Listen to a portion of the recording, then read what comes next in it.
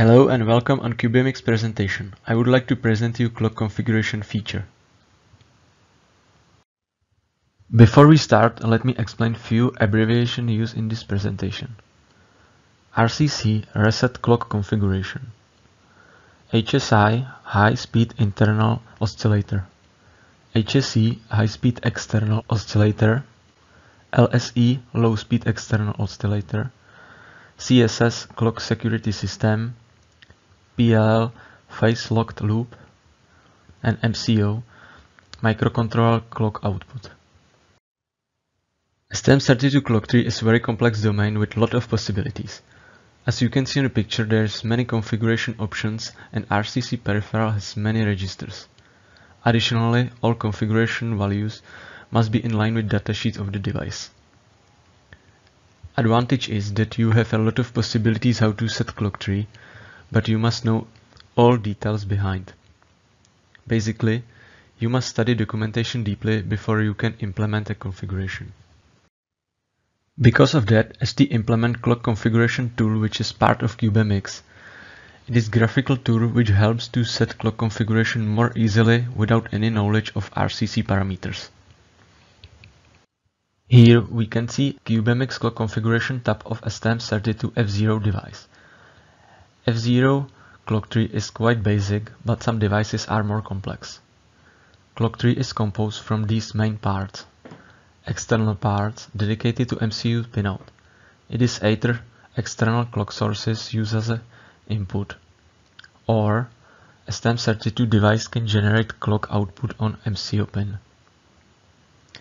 Then there are internal clock sources available in STM32 silicon. Then there is multiplexers and dividers used for frequency tuning and finally, internal frequencies used for core and peripherals. As mentioned, a STM32 device can use external oscillators as a clock source. HSI high-speed external oscillator is used to generate very accurate clock source for the application. LSE low-speed external oscillator has the advantage of providing a low power but highly accurate clock source to the real-time clock peripheral or other timing functions. It is also possible to bypass external oscillators by providing precise clock source. For that, there is a possibility to select bypass in RCC configuration. If you would like to have a look how to design oscillator circuit properly, you can have a look to our application note AN2867 Oscillator Design Guide. In the clock configuration we can see that input frequency of LSE and HSE is gray. It means that it is disabled in CubeMX. We have to go to Pinout and Configuration tab and RCC domain. Here we can enable LSE or HSE resonators. After enabling, we can see that it takes few pins on the pinout.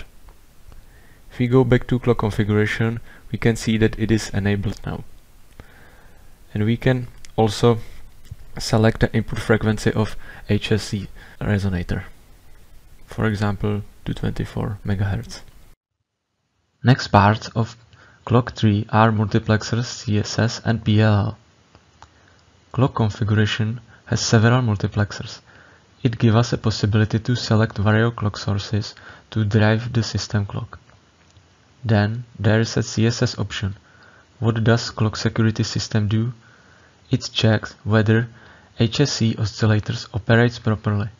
If not, clock failure event is sent to the break input of the timers and an interrupt is generated to inform the software about the failure allowing the MCU to perform rescue operations. Last part is PLL, which is used to multiply the HSI or HSE input clock frequency. Multiplexers and PLL is fully configurable in clock configuration. For example here we can select the clock source for the system clock. Here we can choose from HSI, HSE or PLL. We select PLL we can see that the input is still HSI and we have to switch to HSE. If we select to HSE, the PLL is multiplying the input and the output frequency is too high, so we have to reduce the multiplexing. Now we have a right configuration of the clock. STM32 CubeMX tool has several features which can help with the clock configuration. It shows warnings if something is wrong. It has resolve clock issues function which can automatically resolve recognized issues. Then it is auto computation feature. You can write your required value to the box and press enter and CubeMX will automatically find a solution for you and calculate your required frequency. Other feature is the lock. It is possibility to lock value in the box. If you change configuration which would directly impact locked value, CubeMX trigger warning message. Now let's have a look directly to CubeMX how the features work.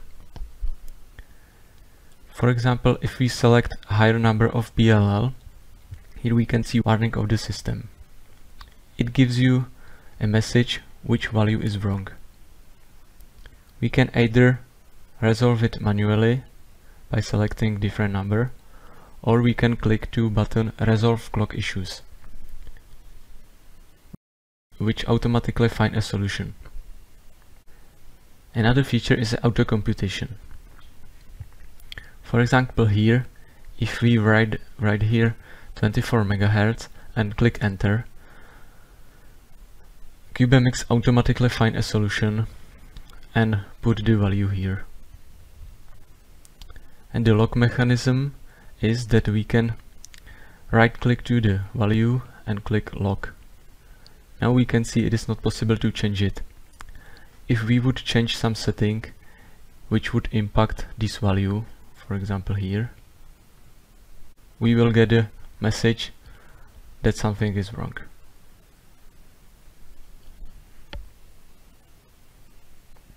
STM32 device can generate clock signal to one of external pin.